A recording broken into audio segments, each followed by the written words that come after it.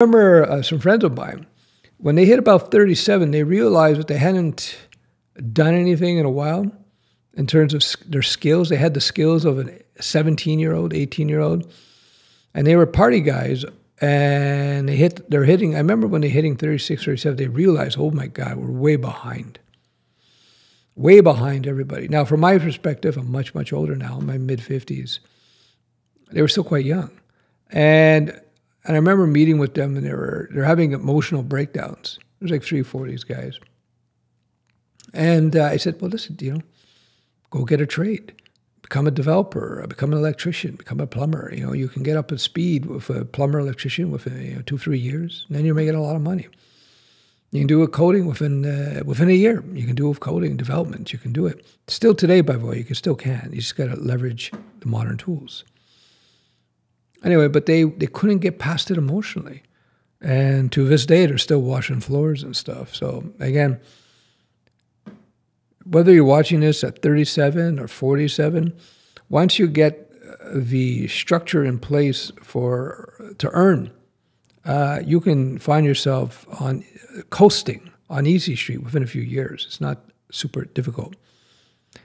The biggest challenge again is reprogramming that visceral brain, that lower brain. Anyway, let me just quickly jump to the older folks. If you're older, you know, in your late, your late, your 40s and 50s, 60s, even older, what you have, you don't have time, but you do have uh, experience. You do have a fully developed brain.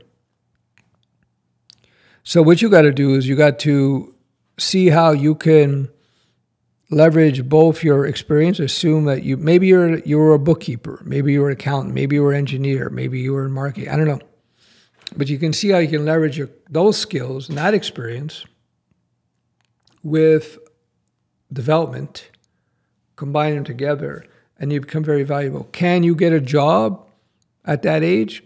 Harder. They rather hire people in their 20s and 30s who, are, who have ability to show but um, I personally always recommend to everybody freelancing to start. That's what I did. That's what I did my entire career. Last time I had a job was a bouncer in a nightclub. You know, that was that's what I did. Um, I just uh, it's so freeing. Like they call it, they call it freelancing because you're free to fail, but you're also free. You have your life is so much more free. And if you structure your freelancing business properly, uh, within a year, you can start feeling pretty free because as a freelancer, you, you work when you want, how you want, with whom you want, the type of jobs you want. Um, and then you learn to manage your money properly and you'll be in a great position. It's, uh, it's very important. Money management is a huge part of all of this. So, next, here it is again if you just want to see my notoramas. All right.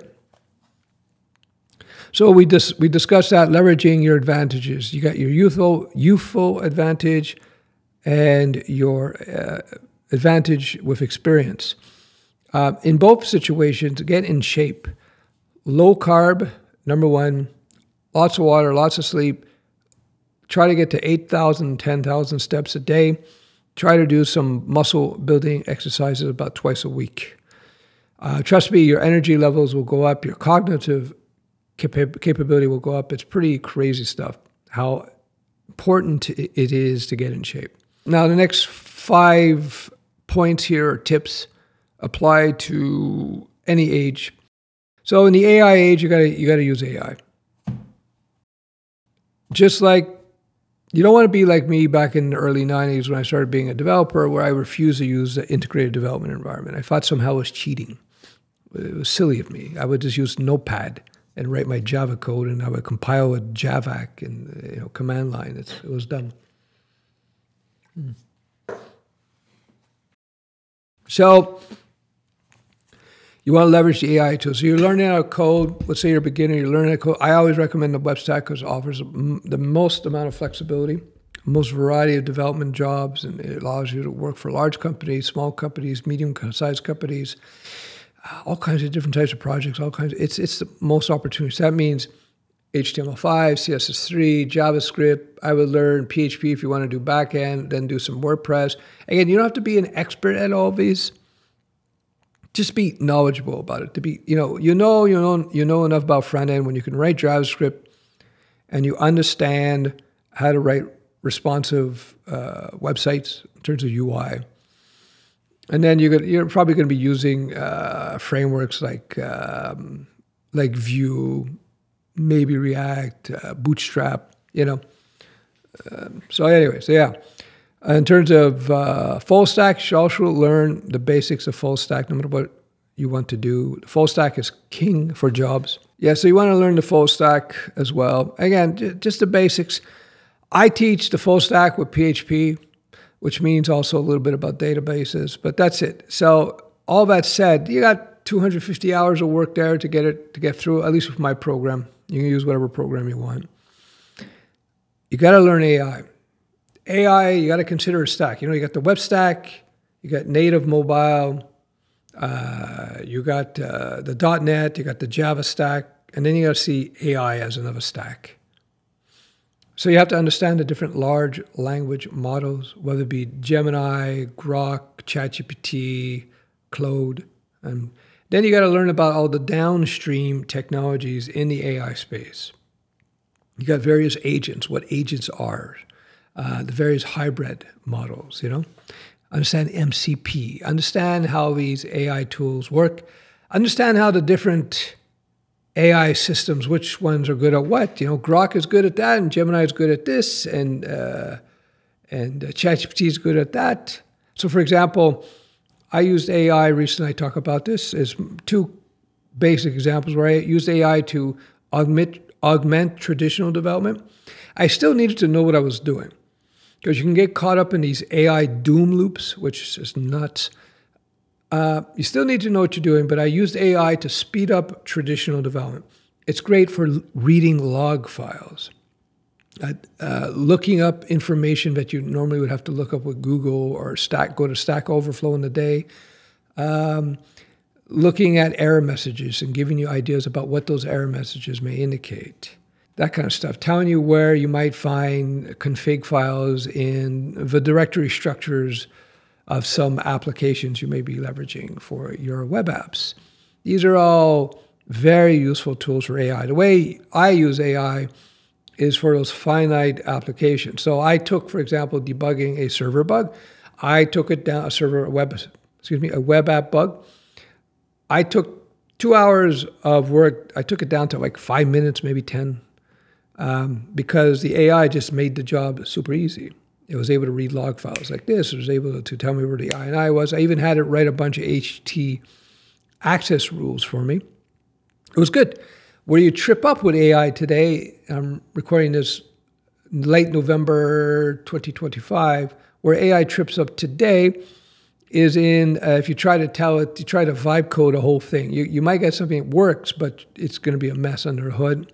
And anybody knows, you got any software, if it's any somewhat successful in any way, you're going to need to be able to update it and tweak it. And, and generated code, whether it be AI or not, are notoriously bad for that situation. Notoriously bad. So yeah, leverage AI to learn coding, leverage AI to software development. So you can do AI augmented traditional development. You could do the other type of thing you could use AI for is AI first development. That is my fitness coach. I developed a fitness coach. It took me about three and a half months. The way you train an AI, AI first application, it's you, you know these days it's delivered via chatbot a lot of times, as mine is, and uh, you give it a, a framework so I gave it a framework. Okay, you are trained on the Fitness Over 50 program, and these are the rules of the program. This is how you got to think about it. Keto first. It's uh, pulsing techniques, et cetera, and so on. And then you run through it, and the AI is kind of like it will go off on these crazy tangents, like my fingers, right? It will go, it will go off on the. So you have to control it. So when it when the finger starts pointing, going where it's not supposed to go, you got to go don't do that.